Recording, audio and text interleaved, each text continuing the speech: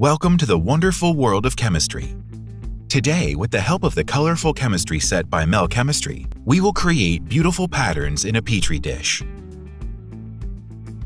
Perform this experiment on the plastic tray to contain any possible spills.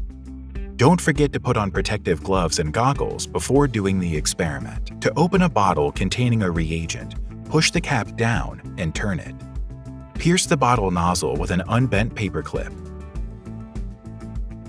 for the acidic patterns experiment, you will need solutions of thymol blue, sodium hydrogen sulfate, and sodium carbonate, a petri dish, a wooden stick, and some water. Add 3 drops of sodium carbonate to your petri dish. Then add water until the bottom of the petri dish is completely covered. Now add 10 drops of thymol blue and stir the contents with a wooden stick. Sodium carbonate solution is a basic medium, in which thymol blue is naturally blue. Now add 5 to 7 drops of sodium hydrogen sulfate to different places in the petri dish and stir the mixture gently. You will see orange patterns appearing in the petri dish until the entire solution gradually turns yellow. Sodium hydrogen sulfate is an acidic medium in which thymol blue is naturally red. After a while, it neutralizes the basic medium created by the sodium carbonate solution.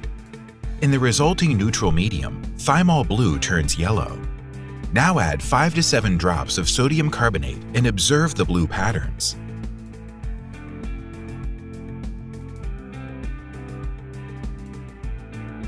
Mix the solution.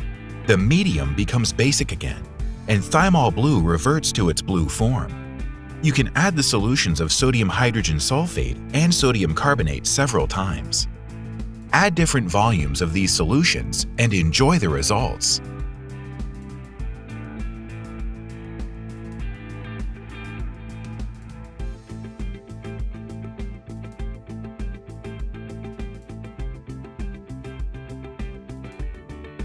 Learn more about this experiment on our Mel Science website.